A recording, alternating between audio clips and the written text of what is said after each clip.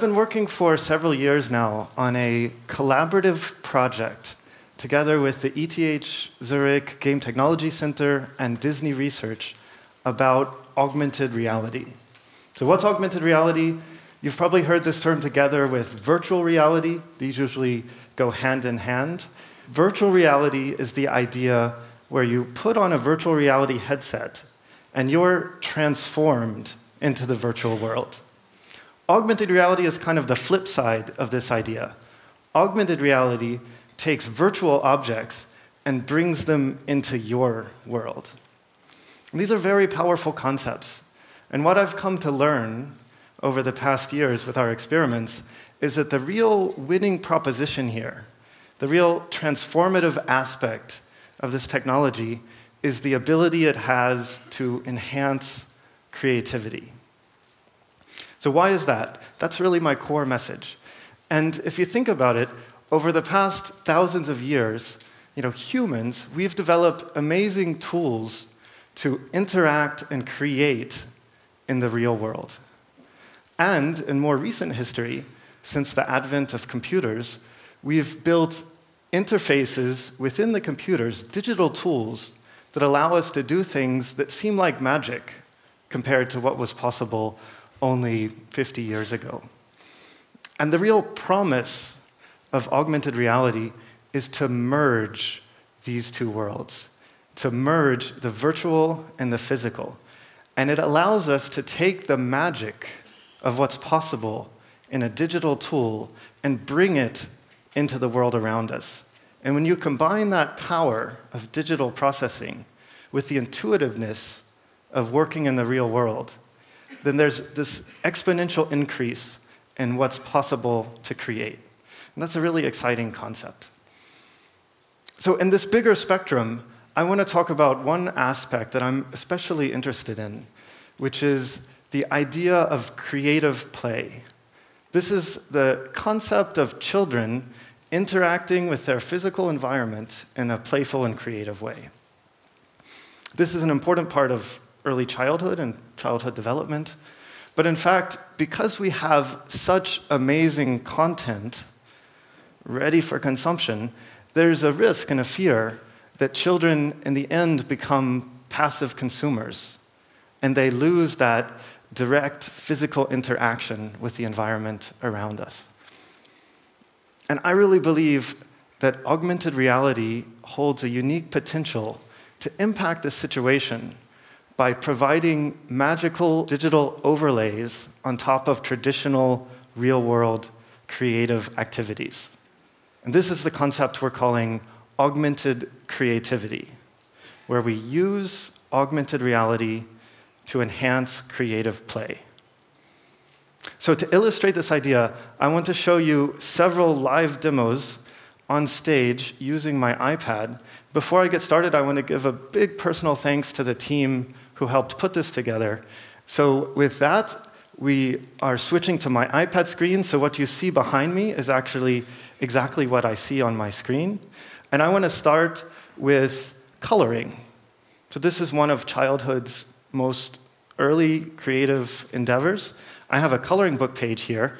And when I view that page, our software recognizes the line art that's printed on it and displays this digital character that matches the line art. That's pretty cool already. However, at the moment, she's blank because we haven't colored her. So I'm going to do some uh, live coloring on her dress right now, just to add a little stripe there. And now, when I tap the screen, the software we've written dynamically captures that texture that I just colored and applies it to the dress. So, in fact, I have a fully colored version that I made uh, just this morning. So, let me capture this one. And what's colored on the front, what you see on the front is copied directly. However, we also have an algorithm that invents what I might have colored on the back based on what I colored on the front. Now, coloring books also often are accompanied with puzzles and I have here uh, maze, and you see our system actually validates that the maze was solved correctly and displays this digital character who follows the path uh, that I've drawn on the page. If I had made a mistake, he would have, in fact, uh, stop and wait. We also have a circle the word puzzle. So it checks that I've circled the proper words and uh, delivers this reward uh, for completing it correctly. So we're not restricted to you know, things right in front of me on this table.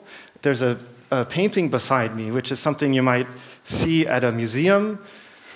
Museums have a lot of cultural importance, but for children, they can be super boring. They're not the most exciting experience. Augmented creativity can help with that. So when I view this painting, with my app well, we see it, but because we're using the system, we can do some magical things. So if I tap on the screen, we throw uh, balls of paint and are able to recolor this painting to create something more exciting.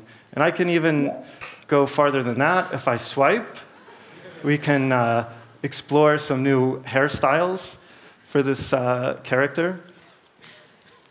Let's find one. Ah, that's pretty good. I can even uh, move the nose around a little bit. Oops, let's try to make the eyes a little bigger. And I would say, you know, with these changes, he's a pretty happy guy. so this allows a child to become their own Picasso when they visit a museum. We've also explored bringing gameplay into this um, suite of demos. And for that, I have uh, some rubber stamps. So these are actually ones we created in our office with our laser cutter. And I'm going to show you how we can meld games into the world around us using these stamps. Uh, and for that, I'm going to just stamp right here on the paper. And when I create that stamp, the system actually recognizes what I've just done and creates this corresponding character that matches the stamp. It even knew that the ink I used was blue and colored the character blue. I'm gonna make a green one right now. And once this is done, we actually can implement a simple game where these two characters battle one another. and the full interaction really comes from this physical, kind of tangible movement in the real world. Now, these are two different uh, concepts, well, we have visuals. We saw we can create new interaction. What about other sensing modalities? So how about listening or hearing? And for that, I have a number of, uh, a number of cards on the table. And these cards have different instruments and musical styles printed on them. So the first one is the vocals. And when I view this card with my iPad, we display a character well, I'm working for my baby. I've been lazing around. Who's now performing for us. The whole house, the mess I've been putting down. He's singing solo right now, so let's give him some instruments to accompany. That's why I have been a slob. Get out and get some job. Well, I gotta start cleaning. Too. So just like that, we have a rock version of this song. But we can also bring in some other, uh, some other instruments. She gets a little bit angry. I love her, love her, love. I'm working for my baby, I do. Well, I'm working for my baby. I've been lazing around. So now I've actually created a reggae track. Um, pretty interesting. What about something a bit more classic? So I'm going to add this. Add this string quartet, so we have a more classic feel, which is interesting, but I think for this group, we should rather go full on techno.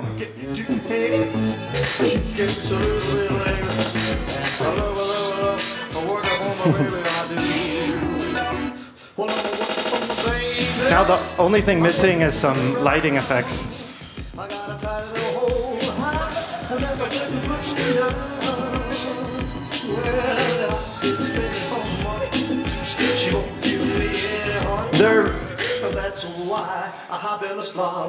So there's really limitless possibilities we can do with this technology. I can even, for example, bring in the character that I colored earlier to join the performance in a duet.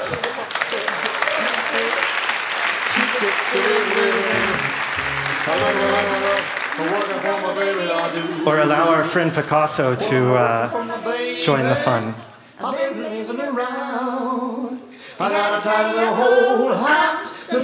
So the, the theme today, thank you.